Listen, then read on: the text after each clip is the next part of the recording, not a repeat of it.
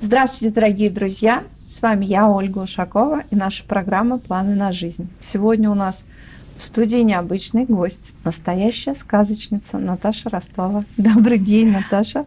А, здравствуй, Оля. Как ты пришла к тому, что начала писать сказки? Ну, я, что это такое за сказка? Я самый начинающий сказочница, прям я на низком старте, можно сказать. А, пришла я к этому довольно просто, сидела, думала, вот чем я могу заняться, кроме какой-то грубой физической работы или офисной работы, которая мне сейчас не по плечу. И э, просто написала такой пост небольшой в Фейсбуке. Причем э, не заметила, что написала его в общей ленте. Э, хотела написать, спросить у девочек. У нас есть такой небольшой анклав угу. подружек. Вот поэтому там пост был такой серии. Девчата, вот там хочу начать писать сказки. Что-то вот меня переклинило. Как думаете, как пойдет? И тут в личку случилось просто невозможное количество запросов сразу. Посыпались предложения, напиши. Посыпались предложения, да. А сколько денег, а какие сказки, а какие сроки там. Ну, в общем, на самом деле, прям для меня это было очень... Не то чтобы неожиданно, конечно, я ожидала, что будет какой-то отклик. Угу. Ожидала от девочек, от своих. А оказалось это оказалось, общее, и, и получилось. Да, да и получилось, думаю, ну ладно, там уже понеслись репосты, думаю, ну ладно, ладно, ну пусть, ну вот раз так случилось, э, значит, так оно и должно быть. И в итоге у тебя уже есть сказки написанные? Да, написанные сказки, две штучки пока. Вот. Э, э, мало того, я я не только пообещала родителям сказки, я пообещала каждому ребеночку книжку, посвященную ему, то есть сказка в виде книжки с фотографиями, с иллюстрациями. Про него сказка получается. Да, сказка Это про сказка про ребенка. Про ребенка. Ну, на самом деле, я думала о детях, конечно, а потом уже пошли запросы написать э, сказку про столетнего дедушку, дедушки юбилей, написать uh-huh. там монографию, написать то все. В общем, запросов очень много, они разные. А, я вот теперь думаю, как это все разгребать, потому что дело оказалось э, непростым. А, сказка это, ну, наверное, 10% от общей работы которое предстоит сделать, это найти э, хорошую Типографию, наверное. Типографию, да. да Качество, договориться, да. Там угу. макет, верстка. Слава богу, у меня есть муж, который прекрасно в этом Занимается. разбирается, угу. да, и помогает мне. А что? в каком процентном соотношении? Вот, ну, типография, а сочиняешь за сколько? Как это тебе, тебе удается? Это же ведь не так просто. А, ну, Ты знаешь, э, как правило, ко мне вдохновение приходит в те моменты, когда я лежу, не могу долго уснуть, вот легла и не спится, мне не спится, какие-то мысли вот э, приходят, начинают вот, да, подсознание работать. То есть творческий я, процесс. Да, и я что-то там быстро черкану, вот что мне, чтобы не забыть э, утром. И как, ну, как-то довольно быстро у меня получается, дня за три вот сказка. Угу. А, конечно, мне а, обязательно нужно у родителей, а, родителей потрепать немножко, угу. поспрашивать, э, что любит ребенок. Ну, это автобиографическая же сказка, да, то есть чтобы было похоже на да. главного героя. Да, что, кем он хочет стать, как э, как зовут маму и папу, есть ли братья, сестры, в общем, полный такой комплект информации о ребенке, тогда уже как-то сама собой э, сказка выстраивается. Угу. Наташ, вот э, я узнала о тебе впервые, это было в 2015 году. Я, мы еще не были с тобой знакомы, но я увидела информацию о том, что тебе нужна помощь, что у тебя онкологическое заболевание – а, как вообще случилось, как ты узнала о диагнозе? Что, что произошло вот в твоей жизни? Как, с чего все начиналось? Вот эта неприятность жизни. неприятность э, на самом деле началась очень приятно, но об этом мы чуть позже поговорим. Угу. Вот. А узнала самым тривиальным способом, наверное, как э, многие в ходе самообследования. А, Что-то нащупала у себя? Нащупала, да, у себя. Вот. Причем э, самообследованием я, как журналист, который всегда в теме, и очень много я в медицине я не то чтобы разбираюсь в медицине, mm-hmm. наверное, уже сейчас получше любого доктора. Ну и раньше я все прекрасно понимала, как нужно себя обезопасить. Вот. Причем за месяц до событий описываемых а, я у себя ничего не находила. Uh-huh. Вот, а через месяц я нашла маленькую горошинку, крошечную такую. Uh-huh. Думаю, откуда она взялась вообще? Вот месяц назад ничего не было. Uh-huh. Вот. Плюс мне приснился прям накануне нехороший сон, что вот ну, из да, правой груди там идет кровь. Думаю, ну вот надо же. Сразу сон пошла в руку. к доктору. А, я сразу э, написала Кириллу, своему мужу, тогда mm-hmm. будущему мужу. Я говорю, вот так и так. Он говорит, я говорю, а что делать там? Иди к врачу, а что делать? Ну, ты с ума сошла? Угу. Сразу иди к врачу. И я пошла к врачу а в обычную городскую поликлинику, э, сделали мне, скажи, маммограмму. Мама... Да. УЗИ, маммограмму? Не, мне сделали маммограмму, сказали, ой, девочка, да это фиброденома, вообще не переживай. Вот, ну, через годик покажись. Отправили на год, да? На год отправили, да. Mm-hmm. Отдыхать. Да, у меня прям сохранилась эта их бумажка, где написано фиброаденома. Так, а, а потом как? Ну, у тебя а что-то по... сомнения были какие-то? А потом сомнения, сомнения, опять же, возникли у Кирилла, который mm-hmm. сказал, слушай, давай-ка обследуемся как следует, а не так, как сказали в поликлинике. Вот. И потом, Через сколько по времени это было после обследования? А, ну, я вышла из поликлиники. И тут же сразу сказала? Перешла через дорогу. То есть это было сиюминутно? Перешла через дорогу, смотрю медицинский центр. Угу. Зашла и платно сделала УЗИ груди. Угу. И там мне уже сказали, ой-ой-ой, что-то это ваша фиброаденома не похоже на фиброаденому. Вот. Но потом уже по протаренной Кириллом чуть ранее дорожке я отправилась э, в институт рентгена радиологии в Москве, здесь, на профсоюзе. Чтобы еще один рентген сделать? А, чтобы уже наконец-то понять, что там. А, ну, я пришла к мамологу, вот с результатами УЗИ, с результатами угу. маммограммы. Мне назначили пункцию пункцию сделали, сказали, да, что-то там вообще ситуация накаляется. Потом То есть сделали... раковые клетки были обнаружены? Были обнаружены, потом сделали биопсию угу. прицельную уже. Угу. Да, подтвердили диагноз и назначили дату операции. Причем настолько все было буднично, настолько все было как-то плавно и спокойно. Для тебя было спокойно? Где-то да, для меня было спокойно. То есть ты не волновалась? Ты... А, я волновалась внутри, но Кирилл был настолько спокоен, чисто внешне. Давай, наверное, все-таки расскажем про Кирилла, как mm-hmm. это случилось. Ведь за несколько дней до того, как ты узнала о своем диагнозе, ты встретила настоящую свою любовь. Да. Как? За, за три дня. За три дня, да? За три дня до того, как я узнала, ощупала себя. Скажем так, да, мы стали встречаться с Кириллом. И вот человек знает тебя три дня, ты узнаешь диагноз, у меня рак, и как, и что? что ну, вот человек как... знал меня 15 лет до этого. Мы коллеги. А чем вы занимались?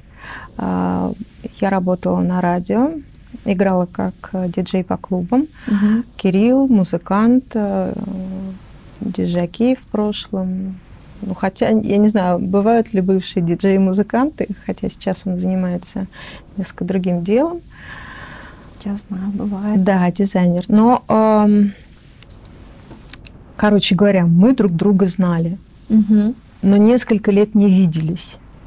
И Так случайная бывает. встреча. И э, Кирилл меня позвал на мероприятие поработать, э, которое он устраивал. Мгм. И мы, мы там встретились и, в общем, поняли, что... Что любите? Ну, не то чтобы любим, но как-то вот Ну, искра проскочила между вами. искра, да. Мгм. Хорошо. Ну, вот он узнал об этом. А, а, как отнесся? Вот три дня. Знаете, правда, 15 лет? Вот А, три дня. а, как отнесся? Да вообще отлично. Сказал, все, мы готовы. Мы будем биться до конца. Доктор, что надо делать? Он ходил даже с тобой к врачам. Да, он ходил со мной по врачам. Дело в том, что Кирилл особенный человек э, в некотором роде, потому что его бывшая супруга пережила рак груди. И он с ней прошел э, все ступени болезни и излечения от А до Я. Он знает, что это такое, он знает, как с этим бороться, он знает, как э, психологически себя вести, То есть это Как твой сама- ангел-хранитель на тот момент. не только мой, но и бывшей жены. Да. Да. Мгм. А, И поэтому было смешно, когда мы, они а, с бывшей супругой, ну, она лечилась там же, в рентген-радиологии, когда мы приехали туда, к, к тем же врачам, врачи сказали, вот мы вас помним, а девушка все-таки другая. Типа, у вас, это карма, что ли, у вас такая? Вот, поэтому он ничего не боялся.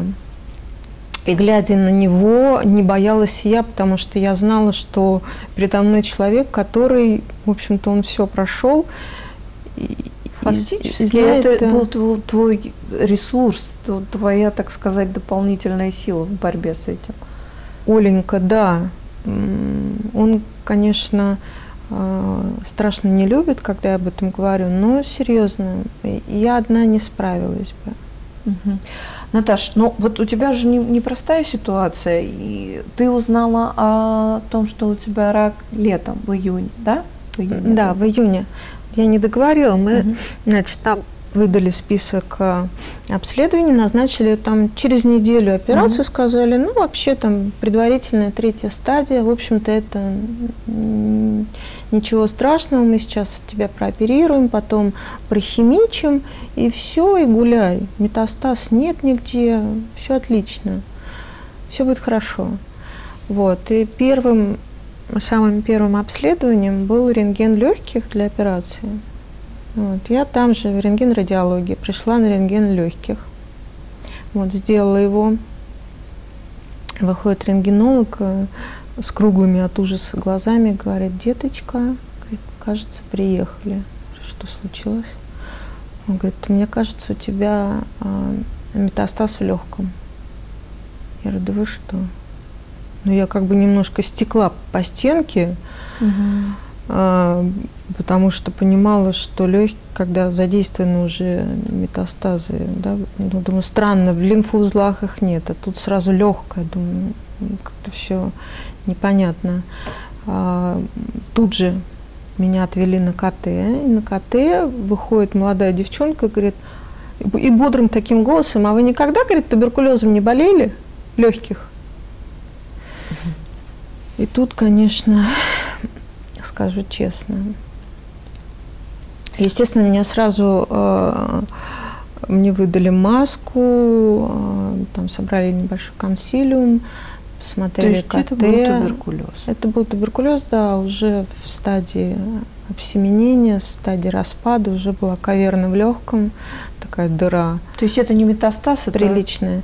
Да, но мне сказали, вообще непонятно, что хуже или лучше, вообще даже слова не подберешь. Метастаз это очень плохо, но туберкулез мы такого не видели. Поэтому иди-ка, девочка, в тубдиспансер, вот, и там уже решай. Я говорю, а, а А рак? как же а, рак? Он говорит, ну, они там что-нибудь придумают. А у тебя же даже симптомов не было. Не было симптомов никаких. я не кашляла. Ну, начнем с того, Не что я болела не, ничего. не курила никогда в жизни сигареты. И я достаточно э, такой зожный образ жизни вела. Ну, это просто мистическая какая-то история. А, ну, ну, тогда мне казалось, что да, мистическое, а уже сейчас, эм, э, думая об этом, я понимаю, что все-таки все к тому шло. Вообще вся история моей жизни разворачивалась э, и шла к тому, что вот должно было что-то случиться, чтобы меня шарахнуло по башке и сказала, вот давай-ка ты, подруга, Меняйся. разворачивайся, да, на 90 градусов и шуруй в другую сторону. Так, и вот, значит, они говорят, идите в тубдиспансер. А дальше что? в топ-диспансер. А, Приехала, там тоже посмотрели квадратными глазами и сказали, ну, такие, да. И причем главный врач э, топ-диспансера, она говорит, я не буду скрывать, я работаю 45 лет уже здесь. А, Я таких случаев не встречала. Вот. И я не знаю никого, кто встречал бы такие случаи. У меня дар речи потерялся. Вот. Наташа. Что это значит не встречала? Это Не что, встречала. запущенная форма такая или что? А, Природа устроена таким образом, что она два смертельных заболевания А. сразу В этом? в одном теле, она не дает им расцветать. Мгм. Либо одно, потом другое, либо просто одно. А, Очень часто бывает, что туберкулез идет вместе с ВИЧ. Две смертельные болезни. Но тут а, схема, она м, очень- Лечение была уже какая-то, правильно? Да, схема лечения была, и вообще две болезни созависимые друг от Мгм. друга. А здесь туберкулез, он а, лечится совершенно по-другому. Это антагонисты а, лечения вот, туберкулеза и рака, да.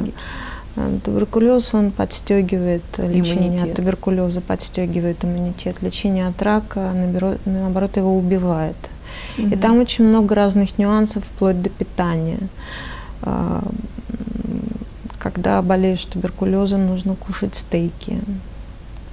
С, с кровью каждый день. Ни в коем случае не худеть, а, набирать вес. а. Онкология предполагает... А онкология предполагает держать себя как бы, да, в норме. Там, Мгм. в общем, как-то так очень много было а, несостыковок вообще по болезни. Они до сих пор есть. Но э, я все время, прости, все время с, с темы съезжаю, меня как куда-то в сторону уводит. Ничего страшного. Ну, в, итоге э, пришла э, в тубдиспансер, сказ- все развели руками, мы не знаем, а дальше куда? Да, Вы дальше сказали, ну, короче, все, мы тебя кладем а, а, в, туберкуле- в туберкулезную больницу в Сокольниках, вот, э, там они пу- пусть сами решают, ш- ну, что делать. Я говорю, отлично, говорю, а что с раком? Ну, они там что-нибудь придумают. Там напротив есть онкологическая больница, может, они там онколога пригласят. Я говорю, может быть, пригласят. То есть э, это, то есть развивалось это дос- достаточно все быстро, да, от момента постановки диагноза до С июня до... э, этого с- момента? д- да, с конца июня и вот э, там м, 17 августа, сейчас помню, мне поставили диагноз туберкулеза, 24 августа мне уже выписали направление в больницу. Мгм. И все это время а, мы с Кириллом копали разные, э, копали информацию. А, Посылали запросы в разные клиники за рубежом. Отовсюду мы получили отказы. В ходе там, поисков э, выяснилось, что таких случаев было всего два описанных в мире. Туберкулез а, легкого и рак груди именно в таком сочетании. Причем обе женщины умерли, но одна умерла от неправильного лечения, а другой просто неправильный диагноз поставили. У нее угу. был, оказывается, туберкулез груди, тоже редчайшее заболевание, угу. очень редкое, угу. и которое похоже на рак груди. Угу. Вот. И, в общем, э, все от меня Твой отказались. третий случай, и все отказываются. В итоге Все как, отказались, как да. Всем, всех смутило, всех там Израиль, там всю Европу, Германию, Америку, всех, естественно, смутило э, смутил диагноз туберкулеза. Все сказали, ой, у вас в России хорошо его лечат вообще, и поэтому давайте вы там от туберкулеза пролечитесь, а потом приезжайте к нам. За большие бабки лечитесь у нас. И в итоге ты нашла врача? В, в итоге... Как ты его нашла? В итоге для начала мы приехали с Кириллом э, в больницу в Сокольниках, угу. зашли в отделение хирургическое, куда меня отправили. Вот, увидели веселую гоп-компанию, состоящую из э, алкашей, а, ну, в общем, бомжей. да, болезнь-то людей неустроенных, да, хотя сейчас это... Да, да, да. Все там, кто без ноги, кто без половины лица, кто со свещами страшными. И я такая, ну, да, и я такая Приличная пришла, девочка. Приличная девочка, захожу в это отделение, а там э, тихий ужас просто. Тихий ужас. Я вот так села в стул, так вот вцепилась, говорю, Кирилл, говорю, пожалуйста, не оставляй меня здесь, пожалуйста, не оставляй меня здесь. А мы же не знаем, что, как поступить вообще, что делать. Ну вот уйдем мы сейчас из этой больницы. И, что и дальше? Что дальше? Ну, наедине с этой болезнью, кто займется? Кто займется, кто вообще, кому это интересно, кому это нужно. А, к тому моменту мы поняли, что люди просто умыли руки, потому что протоколов лечения нет совместного. А, у тебя и лечение не начиналось на тот момент, да? Ведь не было Нет, ничего? никакого не было лечения. Угу. Меня нужно было сначала прооперировать, э, удалить э, каверну, э, что-то придумать с мастектомией, но никто не брался, потому что фтизиатры не имеют допуска оперировать онкологических больных, а онкология не может брать к себе в стационар Тубер... больных Тубер... с открытой формой туберкулеза. Угу. И выход какой? Выхода не было. Выхода не было. А, Кирилл, конечно, увидел, что я вообще просто в состоянии нестояния. Я сидела белая, как полотно, вся тряслась, как осиновый лист. И даже дородные ходили тетки, а, медсестры, которые там, знаешь, любого буйного могут усмирить. И они, они подходили ко мне и говорят, девочка, а, а что ты тут делаешь-то? Говорит, а зачем тебя сюда прислали? Я говорю, тут так и так они ой-ой-ой, типа. Ну, ой-ой-ой. то есть понятно, что был шок для, для, для тех, кто уже много чего ну, повидал. Как, там... Им, конечно, ну, шок, шок. Ну, да мало ли что они там видели. Конечно, для меня это был шок. Мы каким-то чудом оттуда подписали тучу бумаг, мы оттуда слиняли. То есть ушли, потому ушли что... в тот же день, потому что я поняла, там что находиться я... было невозможно. Ну, невозможно, я бы там не выжила. Угу. Ну, сто процентов. Угу. А, просто хотя бы из... должен быть нормальный психологический фон. А там это просто ужас. Это Хорошо. Ну как нашла врача? Я же знаю, что ты нашла. Очень... как я долго тяну, да, вот такая театральная пауза. Да. Заполнены моей болтовней. Нет, все, все по делу, все хорошо. А, я же к этому и веду, что мы вышли, угу. такие сели на пенек, сидим, а, я плачу, попутно обзваниваем всех, просто всех подряд, кого знаем. Угу. всех людей, связанных с медициной. В том числе я звоню своей подружке, которая работает э, в акушерстве гинекологии mm-hmm. имени Снегирева. Я у нее прожала третьего ребенка. Я говорю, Анюта, говорю, такая ситуация случилась. Она говорит, слушай, у нас прекрасный есть э, стационар в фтизиопульмонологии. Угу. Езжай туда. Может, они тебе помогут. И мы приезжаем в клинику на Достоевского. Конечно, там совершенно другая обстановка.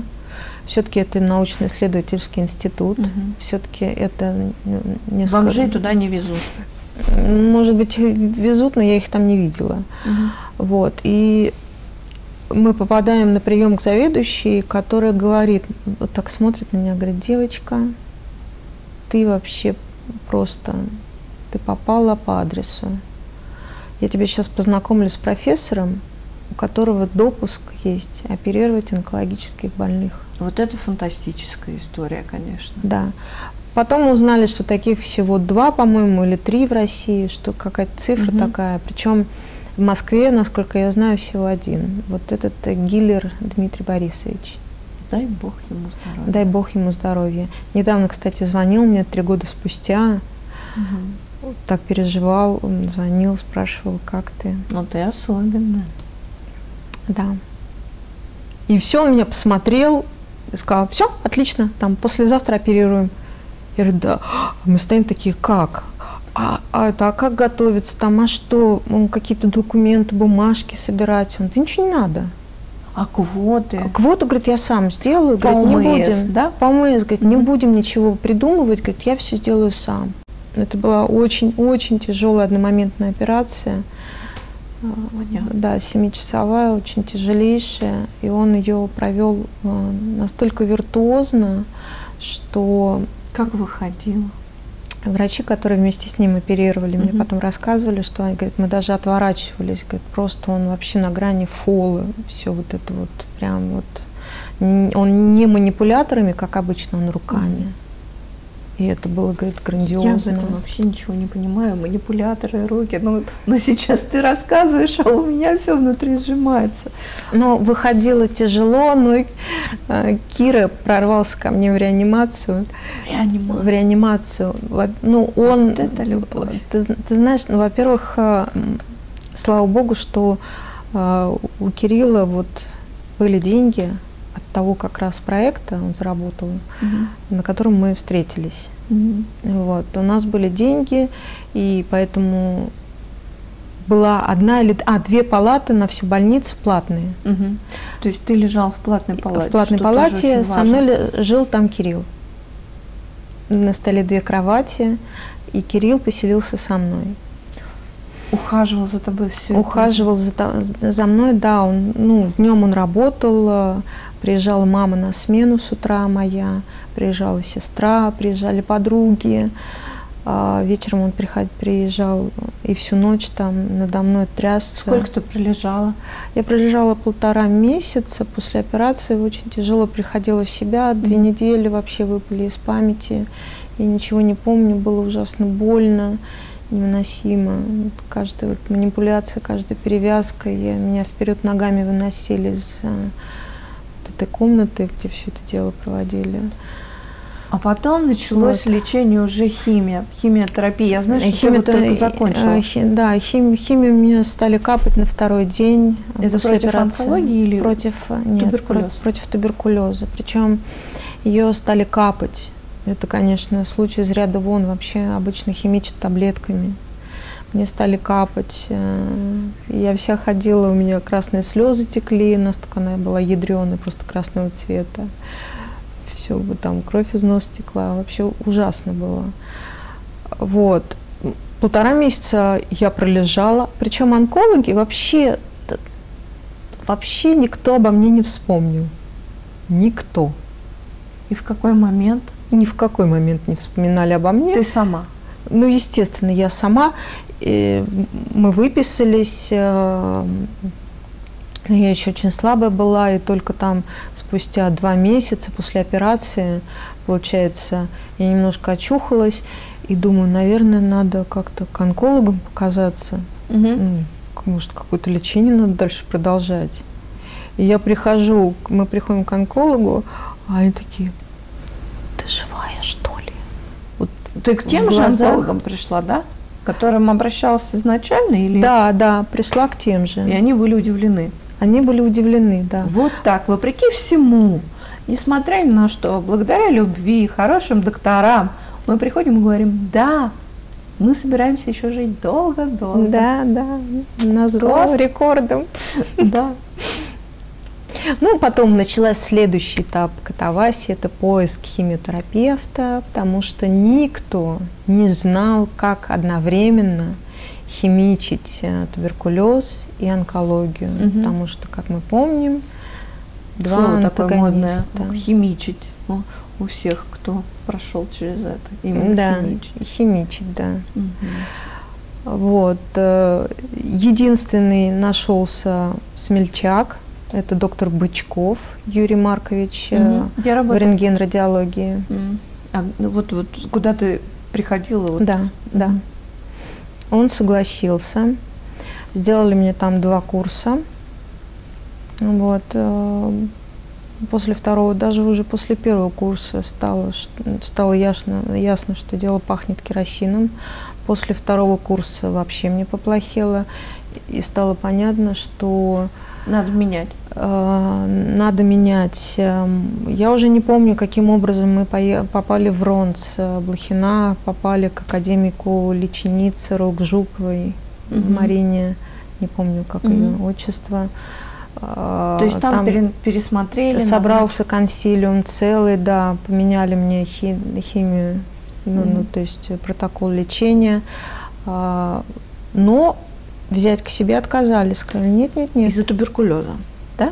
Из-за туберкулеза, которого не было уже, из-за химиотерапии, которая была одновременно, Мгм. понимаешь, да? Мгм. Никто не хотел брать на себя ответственность, потому что я могла э, кинуть копыта, грубо говоря, в любой момент, и То есть угроза кто-то была. был бы виноват во всем этом. Операцию прошли, начали лечение, угроза еще была, еще не проходила. Наташ, ну вот м, я хочу вот к этому моменту вернуться, то, что когда ты э, болела туберкулезом, ведь никто из твоих родственников все проверялись и никто не заразился. То есть э, мы должны обязательно сказать, что все живы-здоровы, Все живы-здоровы, все- эта болезнь больше и не постигла. Все вот трое, де- все моих трое детей, э, дочка Кириллы, Кирилл, Мгм. мои родители, все здоровы. Э, Тоже как бы вот странный случай. э, Казалось бы, это самая передаваемая болезнь. Ну, Легко. как, как сказать странный случай? Мне в, те- в в фтизиатре мне говорили о том, что чтобы заболеть туберкулезом, это надо еще постараться, А, потому что ну, должно совпасть много факторов. мгм. да, чтобы, потому, потому что н- носители, почти дев- 90% населения, носители палочки Коха. Мгм. Но люди, которые действительно заболевают, их на самом деле не так-то много. Мгм. Ну вот, если Ну да, сравнивать с другими Ну, заболеваниями. хорошо, что хорошо, что вот все сложилось таким образом, что э, окружали тебя люди, которые все вот время были с тобой, они остались здоровы, поддерживали, помогали.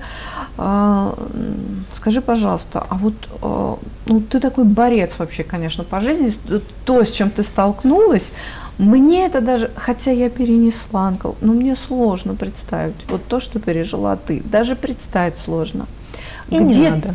И не надо, да. Не надо. Где ты находила силы для того, чтобы справиться вот с, ну, я не знаю, как это назвать, это даже не проблема, это больше, чем проблема. Где? Откуда брала? Оленька, силы? ну, я всегда говорю об этом. Я в этом убеждена, что один в поле не воин. Да будь я трижды, да, с, с каким-то титановым стержнем внутри, а, человек не может в одиночку. Может быть, есть такие да, супергиганты, которые в одиночку справляются. Я не знаю. Э, Вот и я не знаю. А, Ну, то, то, что какой-то во мне стержень есть, это я узнала совершенно случайно. Вот. э, Я не знала об этом. Я думала, что я такая слабая, такая вся несчастная. Мы все так думаем. Да. И тут, откуда ни возьмись, э, какой-то стержень внутри, какой-то кремень образовался. Вот. А самое главное, это невероятная поддержка Кирилла. Это первое. Любовь. Это, Даёт да, это, силы. м, это сумасшедшая любовь, это сопереживание, сочувствие, это понимание всей ситуации изнутри. Мгм. И он не уходил от, эм, от проблем, да, как часто бывают мужчины, они убегают. Не, они не то чтобы там разводятся, да, отстраняются. они отстраняются, потому что, ну, психология. Да и не понимают, что делать. Ведь и не понимают, что не делать. Не только да. мужчины, даже женщины теряются, близкие женщины, там сестры, там какие-то еще. Так. Да, а у меня, во-первых, э, во-первых, э, это первое это Кирилл, второе это, конечно, мои родители, третье это родители Кирилла, которые приняли не только меня со всеми моими проблемами, приняли э, моих детей, э, приняли вообще семью, окружили такой заботой. Я просто один небольшой такой, знаешь, штрих к портрету, когда меня Кирилл привез после второй химии, мне было очень плохо, привез меня к себе домой – а мы познакомились, на самом деле, просто накануне, уже после операции угу. с родителями Кирилла. Угу. Вот. И Кирина мама ухаживала за мной просто как за самым близким человеком. Я этого никогда не забуду, и это просто потрясающе. Ну, представь любую, Большая любую, редкость, потому любую, что... Дру, ну, представь любую другую маму, у которой единственный сын, который встретил женщину с тремя детьми, больную раком и туберкулезом. Ну, мамы будут стоять волосы дыбом. И она как, будет это держать сына за рукав. Ну, как, как, как Это минимум. как минимум, да. да. да. А как максимум ну, вообще... глубокий человек, мама Кирилла. Я душевный. Да, родители потрясающие. Папа у Кирилла совершенно невероятный мужчина. И, в общем, Смотри, Наташа, вот эта вот история, она тебя, она тебя открыла огромное, ну не огромное пусть, но э, столько вообще крутых, наверное, людей, вот реально крутых, крутых душой. А что было с Верой вот на тот момент, да? Как, как, как, как обстояли дела? Ну, многие же приходят к Богу в момент. А, я всегда, я не вот не воцерковленный человек угу. вот в таком смысле угу. общечеловеческом. А, но всегда помолиться за что-то, это я завсегда рада. И, и раньше всегда молилась за детей, когда они болели, за себя молилась. Э, всегда у меня иконка со мной. А, но перед, э, перед тем, как вот начать химию от рака, я специально съездила. Я подумала, что так будет, наверное, правильно. Съездила в церковь Николая Чудотворца, она находится в Подмосковье, старинная церковь, и получила благословение у батюшки, который считается э, таким вот э, покровителем на, на химию, правильно? Лечение, да. да? А сама вот, я, я например, перед э, операцией вот мысленно все, все время разговаривала с Богом. У меня какие-то вот, диалоги были. Но лежишь в больнице там или после операции, когда тяжелые вот эти вот, вот, вот такое вот было что-то? Да, конечно, было. Во-первых, мы перед, э, перед операцией э, мы с Кириллом объездили ездили к Матронушке, ездили на кладбище к Матронушке, по, по всем монастырям. Что просила? А потом, что просила? Что просила, вот сейчас у меня это есть. Вот, просила, естественно, сил а, нам всем, нам с Кириллом пережить это чудовищное мероприятие, которое предстоит. Потому что, ну, непонятно было, как вообще сложится просила сил для Кирилла в случае, если вдруг у меня была я фраза, не справлюсь. Фраза была все время одна и та же. Направь на путь истинный. Ну, я, я там не просила жизни, не просила здоровья, а я все время просила направить на путь истинный. Мне везло. Mm-hmm. Все время. Я да, даже думаю, то, что вот там мне посылалось, казалось бы, вот, ну, невероятно там пауэрлифтинг и брак груди, mm-hmm. да, несочетаемые вещи – и я думаю, что вот это вот пути Господни, мне так кажется. Вот, Ты кстати, думаешь, про... помогло? Но ведь тоже как бы такие вещи никому не удалось, да, вот из двух этих случаев, которые ты знаешь, а вот у тебя все а, хорошо Я могу тебе сказать только одно, одно, когда я лежала уже в состоянии там отказа почек, отказа И сердца. это было, когда да, это было, Наташа? Это было после четвертой химии. А. раковый. Мгм. Вот. Э, Когда стало понятно, что клиника, э, клиника, в которой я лежала круглосуточно, это частная онкологическая, они не справляются вот, э, с, э, Состоянием с твоим. моим состоянием. И я лежала и молилась. Я целыми днями молилась. Я молилась и ждала Кирилла с работы. Мне казалось, что если я его дождусь, то я точно вот ночь переживу.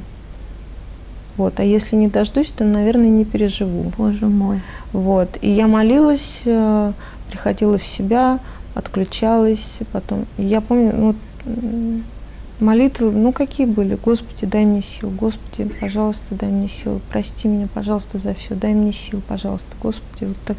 Вот, это, вот, это единственная, по-моему, была такая вот мысль у меня, которая постоянно вертелась э, в голове.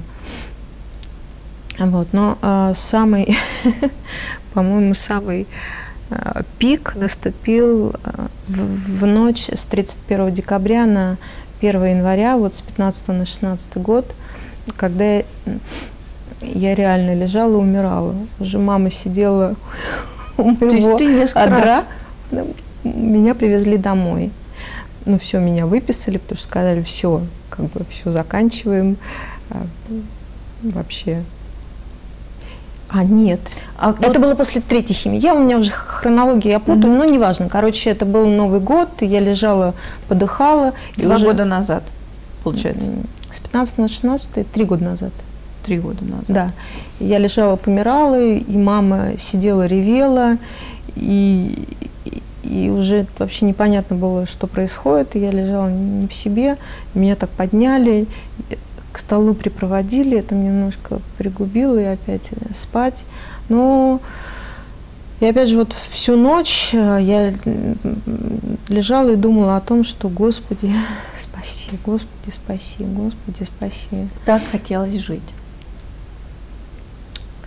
А, да, хотелось жить, и было очень страшно от того, как дети будут без меня, как останется без меня Кирилл, У тебя Как? огромное количество зацепок было за жизнь. как Дети, Кирилл, останется, мама.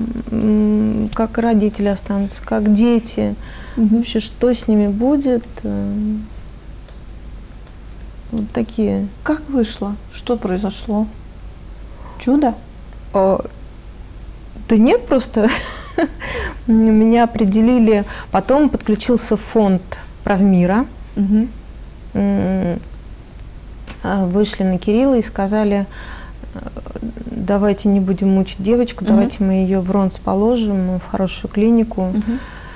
Вот, и э, там пусть ее немножко поддержат и уже решат. Мне еще предстояло еще два блока химии антираковой, противораковой.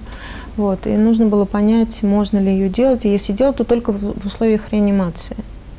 Вот, чтобы сразу подхватить в случае чего. Ух, натерпелась ты, Наташа. Вот, и я легла в нейровиту, и там опять состоялся очередной консилиум, была Жукова, был Личницер, был Давыдов. То есть достаточно даже. много докторов, ну, и, Ну, и случай у академики тебя были, необычный. Да, да, были академики, все смотрели такими глазами. Самое главное то, что ты сейчас перед нами, мы тебя видим, Да. слышим, Да. глаз у тебя горит. Полыхает зеленым. Да.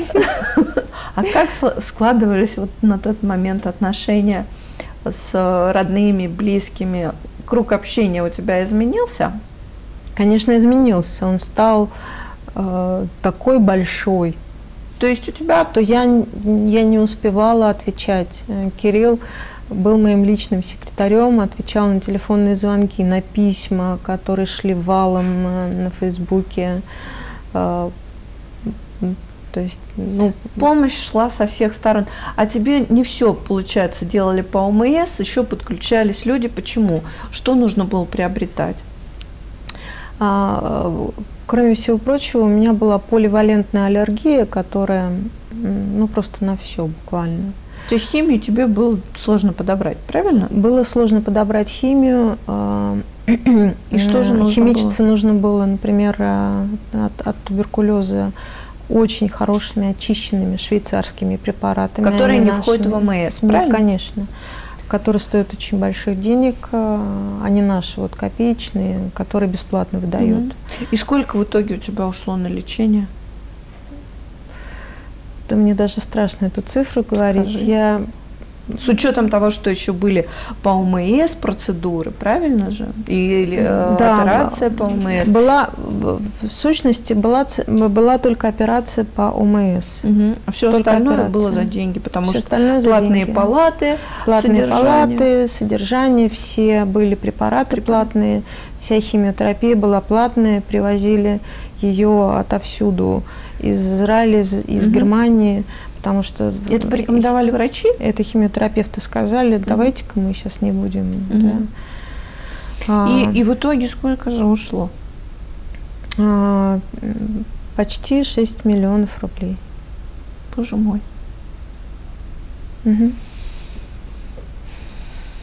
Ну, э, спасибо большое тем людям, которые собирали, которые фонду, Да? Мне тем, кто помогал. Я до сих пор, я пишу, пишу всякий раз благодарственные посты, но они на словах даже мне, Нет, нет. сказочнице, сложно выразить э, Состояние души, которое. пс- ну, вот те чувства благодарности, какой-то большой человеческой любви к людям, которые присылали даже Бывало такое по 10 рублей и- писали, простите, что так мало, но вот сколько можем. Наташа, скажи, пожалуйста, вот прошла огромный путь лечения. И, наверное, понимаю, что какие-то ошибки были допущены или нет. Но вот с твоей стороны были. Вот чтобы, если бы у тебя была возможность откатить назад, что бы ты изменила? Или, А все сложилось, ты знаешь, все сложилось так, как надо. то есть у тебя вот Потому что, Довёл? м, э, ну, нет, судя по тому, что я жива, Да, то есть все, никаких что я после не было. такого лечения сижу, разговариваю с тобой, приехала Строишь не на инвалидной коляске. Да. Все сложилось как надо, потому что а, я очень я по разным врачам ездила. Мы с Кириллом искали разных онкологов, а, потому что мало кто хотел дальше меня вести. То Это есть- очень тяжело. Здесь тогда если все сложилось так, как надо, а вот с чем ты столкнулся, с какими трудностями, какие недостатки, может быть, в медицинской нашей системе существуют, которые могли бы, наверное, облегчить жизнь многим людям, которые столкнулись с этой проблемой и заболели. Вот какие недостатки, вот чего- что больше всего мешало? Вот информации хватало? А, Информация, вся информация шла от Кирилла и из интернета. То есть искали сами? Искали Там- сами. А, В онкологический диспансер я попала уже после лечения всего, в районный. Приехала только, чтобы встать на учет. Потом я знаю, у тебя есть проблема. У тебя ты не смогла разработать руку, правильно?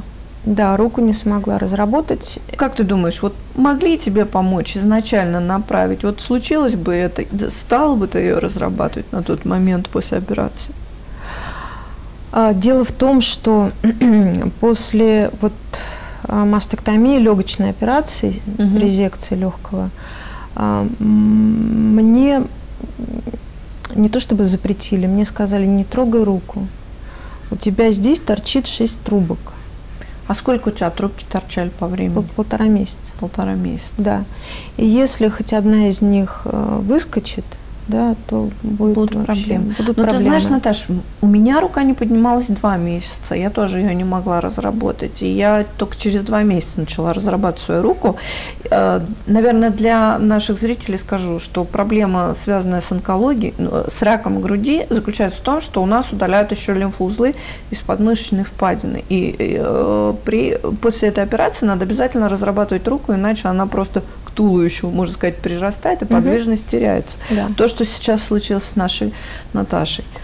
Да, случилось. У меня удалили очень много лимфоузлов э, в подмышке, в грудной, а, в груди, в легких, легочные. Я вот про легочные ничего не знаю. Я знаю, что Лимфоузлы, вот по да. лимфоузлы сторожевые подмышечные. Восемь- пад- 18 штук удалили. Мгм. У меня то есть 13. 13. Мне вот удалили 18, и, слава богу, все они были чистые, кроме четырех, которые были поражены туберкулезом. То есть метастаз у тебя, получается, не было, но химичили по полной программе от онкологии, да? Да. По а какая стадия программе. рака была?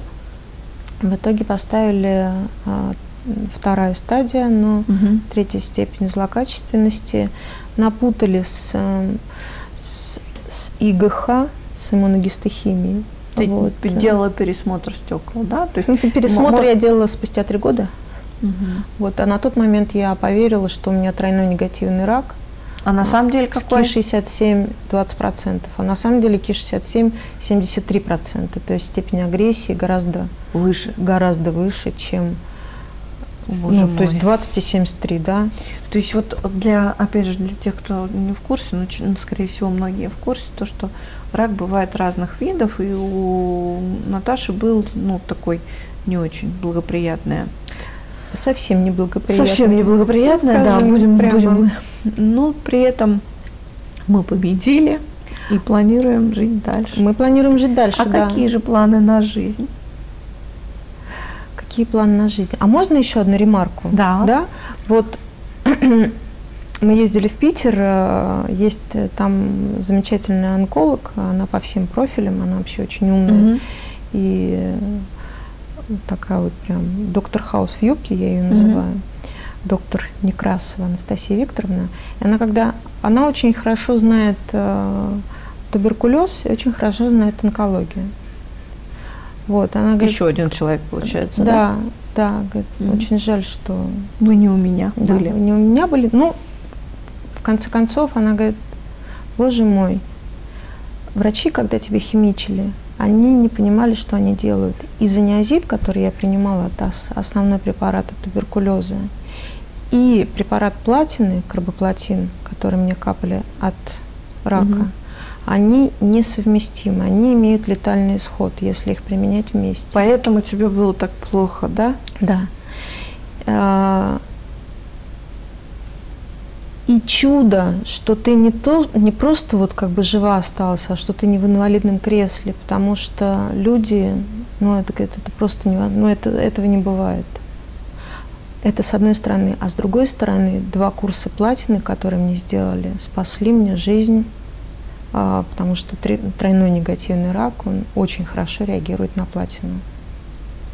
То есть сделали хотя бы два курса, и это очень сильно повысило шансы на выживаемость. Мгм. Ну, а Ну, в еще общем, такая будет- сказочная история. Буде- бу- Будешь, будешь растить деток, потом еще внуков, вот, и радоваться тому, что с тобой рядом Кирилл. Да. Вернемся к планам на жизнь. Теперь можно вернуться, да. Давай. План на жизнь. Ну, буду писать сказки. Буду писать сказки, мне это интересно. Это твой приоритет Это определился. сейчас мой приоритет. Хочу, очень хочу развить это дело, вообще ам, а, отточить свое мастерство сказочницы. Мгм. Вот, это первое. Второе, вот про второй, про второй план я даже рассказывать не буду, настолько он грандиозный, настолько вот сейчас мне он кажется малоосуществимым, что это же А говорить не- почему? не А буду. давай- да. я, я 150 килограмм хочу поднять, хотя 110 еле-еле оторвала. Так что давай, я, я не стесняюсь говорить про 150. Может быть и 170. Ой, кто я? Но у меня еще план раз- с рукой. Мне все-таки будут делать э, операцию на руку, потому что не удалось ее разработать. Уже прошло три года. Мне, мне предстоит вот большая микрохирургическая операция. Микро... Это, это да, это серьезно. Это серьезно. Все пучки нервов, которые мне удалили, точно так же удалили большую грудную мышцу. Это все нужно. Со спины будут лоскуты. А, то есть это еще и восстановление, да? То есть Реконструкции не будет сначала. Сначала просто сделают подвижную руку, чтобы ну, она... это путь к восстановлению. Это путь да, к восстановлению. Плюс еще а, сдала анализы на генетические а, всякие глубокие пороки. Мгм. Вот, потому что слишком уж картинка не складывается. Но я надеюсь, что я почти уверена, что все будет хорошо. И я пройду. Ну, пройдя вот через 33 каких-то, вот, 33 мучения приняв, да, теперь уже точно должна быть все хорошо. Ну да, учитывая, что в марте 2018 года была еще одна операция, а, а, было предраковое состояние, ну практически. А что это еще было? А, в матке нашли а. атипичные клетки и поймали на ранней стадии. На ранней стадии и. Ну химии уже не было. Химии уже не было. А да. что они показывали вот э, эти атипичные клетки? Это не раковые клетки были? Раковые. Раковые? Да. Но это другой рак. Другой рак, не связанный с раком груди. Потому что при тройном негативном, который у меня все-таки форма, угу. она не дает э, метастазы в матку. Туда, Туда угу. не дает. То есть это зрелый отдельный рак. Такой взял себе и зрел. И угу. его совершенно случайно нашли. Абсолютно. Наташ, а вот, ну, пройдя вот такой путь, больше трех лет уже получается, да? Да. А, система ценностей поменялась? Да. В какую, вот что было раньше важным и что сейчас? А, ну, в каких-то, ну, естественно, а, сейчас я уже не обращаю внимания на всякие а, бытовые мелочи, которые раньше выводили из себя. Угу. Вот там, я не знаю, пробки, угу.